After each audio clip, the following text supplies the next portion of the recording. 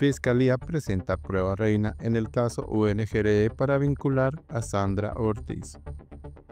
Sandra Ortiz enfrenta acusaciones de lavado de activos y tráfico de influencias en los juzgados de Palo Quemado.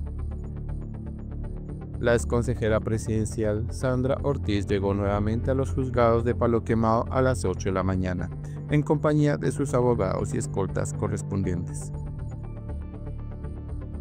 Al iniciar la diligencia, la juez le solicitó a la fiscalía que retomara toda la argumentación en contra de las consejeras por los delitos de lavado de activos y tráfico de influencias.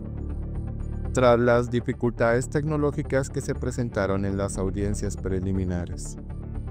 Por tal motivo, la fiscal novena delegada ante la Corte Suprema de Justicia, María Cristina Patiño, expuso los argumentos del ente de control. Entre las pruebas que destacó hubo audios, videos y testimonios que rindieron los exdirectivos de la Unidad de Gestión del Riesgo que comprometen directamente a la consejera Ortiz.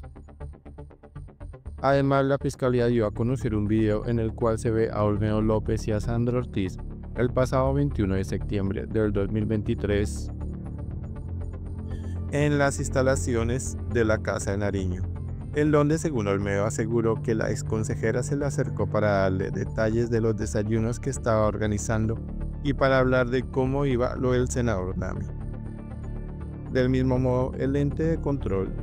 destacó que Olmedo dijo que el pago que se le habría dado al expresidente de la Cámara de Representantes Andrés Calle fue organizado por Carlos Ramón González, quien en su momento era el director del Departamento Administrativo de la Presidencia DAPRE.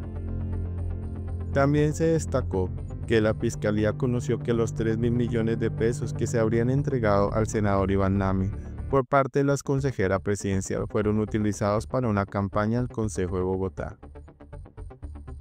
Al mismo tiempo que Sandro Ortiz habría ayudado a gestionar a través del exdirector de la Unidad de Gestión de Riesgo, Olmeo López, la edición de un contrato por 11 mil millones de pesos para la región de la costa caribe del país, el cual favorecería al senador Iván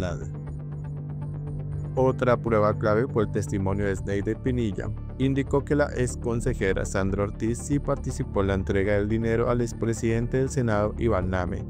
debido a que el ex subdirector detalló cómo se encontró con la exfuncionaria y qué recorrido hicieron para gestar el pago.